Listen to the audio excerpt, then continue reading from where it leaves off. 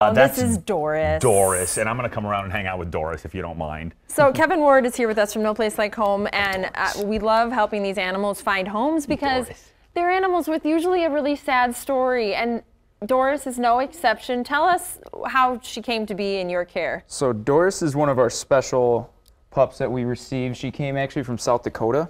Um, she did have an adopter lined up for her in South Dakota, but unfortunately he got in an accident and he was is in a coma right now. Oh my gosh. Yeah, It's such a tragedy. Very sad. And then we found out in within the South Dakota area there's actually a pit bull ban. So if they found her, like the, you know, So they put her down. The city- forces, yeah. they're gonna put them down. so Oh just for being a pit bull, it has nothing to do with her behavior. Just Nope. you're a pit bull. Sorry. just due to her look. And then so we managed to get her out of South Dakota, and she's here now, and she is looking for her forever home. Well, someone in Minnesota, with all the Minnesota love to give, this little gal can bring you lots of love. When we were hanging out with her earlier, she couldn't stop licking. It was like, I don't care if it's your hand, if it's your jeans.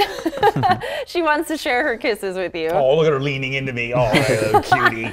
You're a little You have a pretty gentle face. She's not that big either, is She's she? She's very small, yes, and she's still very young. She's about two, and she I heard she loves other dogs, cats, kids, all that stuff. Definitely very like human friendly. Yup. Okay. Do you know where she came from before that she was going to go to this individual that in South Dakota?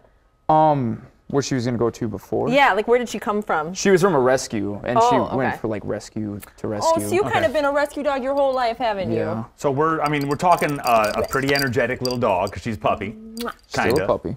And uh, Oh, this is not. want This, this is not. Uh, if you're if you're a 72 year old woman, this is not the dog for you. No, she definitely requires. She demands attention. for sure. Uh, this is a dog that needs to be walked. If you want to walk your doggy, if you want to, uh, if you want to play with your doggy, this is uh, Dor- Doris needs to come to your house Come here. and uh, become a member of your family. All So we- right.